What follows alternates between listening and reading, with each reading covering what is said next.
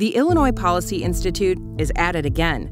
This time, they're spreading lies about the fair tax, trying to create fear so we Illinoisans vote against our best interests.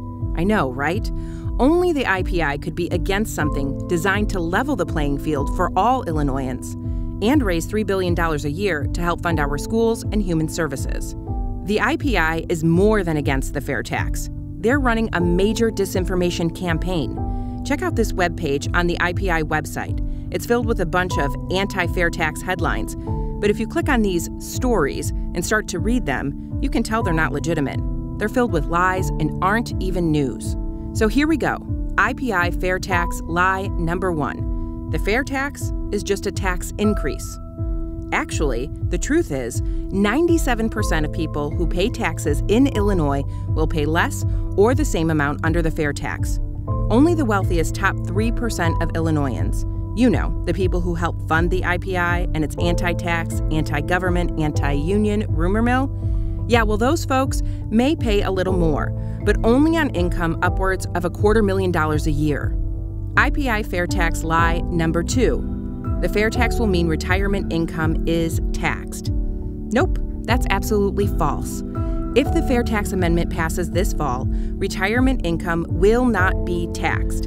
Illinois is one of just a dozen states that does not collect income tax on any retirement income, like your 401k, IRA, pension, or Social Security benefits. And passing the fair tax won't change that. IPI fair tax lie number three the fair tax is a blank check for future tax increases.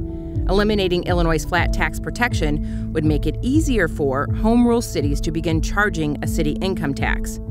That statement is entirely untrue. There is no blank check or city income tax associated with the fair tax.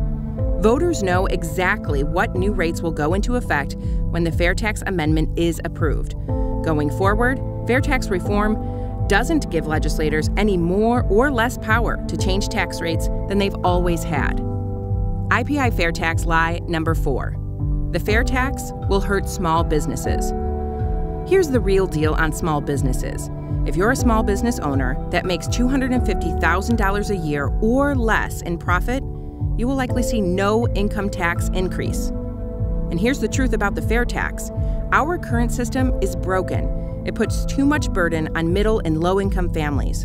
Those who make the least now pay almost double what the most affluent Illinoisans pay in taxes when you compare what they're paying in taxes to their income. That's wrong. The fair tax means reform. It means the wealthiest 3% of people in Illinois will start paying their fair share. Reforming our tax system would raise billions of additional dollars a year that's money we can use to help fund our public schools, pay for human services, and pay down the state's bill backlog. Other states already know the truth, 34 of them to be exact, and the federal government have already adopted this tax structure because it's fair. You can check it out for yourself.